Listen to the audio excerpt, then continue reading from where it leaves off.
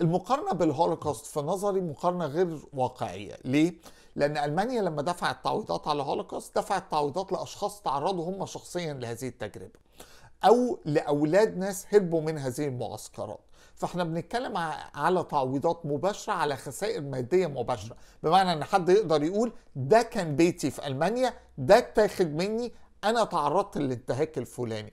إحنا هنا الوضع مختلف وأكثر تعقيدا نظرا للمدة الزمنية اللي مرت على هذا الحدث المطالب فيه بالتعويضات. من هذا المنطلق بالحقيقة ما بحب موضوع المقارنات يعني آه وبعدين ما بحب إنه الناس تحط أرقام جزافا لأنه بالنهاية نحن بدنا نقعد على آه إذا إذا آه قبلنا بقضية التعويضات والمبدأ بدنا نقعد ونشوف شو هو المنطقي والمعقول ضمن إمكانيات الدولة الموجودة حاليا يعني.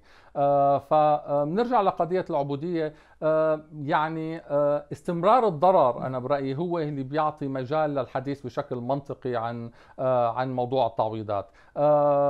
الضرر العبودية حتى بعد انتهاء العبودية مثل ما شفت انتقلنا لنظام تمييز عنصري واستمر لمدة 100 سنة. وبعد انتهاء نظام التمييز العنصري صار عندك نوع من أنواع السياسة الإجرائية الحدود الانتخابية لبعض المقاطعات عدد صناديق الاقتراع اللي بتوفرها ببعض الأماكن خاصة الأماكن تبع السود بيكون قليل بحيث إنك تحد من نسبة مشاركتهم بالعملية السياسية. البنوك إلى سياسات تمييزية معينة بطريقة اعطائها للقروض سواء قروض سكن ولا قروض أعمال وتجارية. للسود مقابل البيض في كتير فرق. ففي عندك سياسات تمييزية معينة لما تزال مستمرة. ومن هون بتيجي قضية إنه السود لسه ما وصلوا بالمجتمع الأمريكي لمرحلة تكافؤ الفرص الحقيقي وهن بحاجة لدفعه بهذا المجال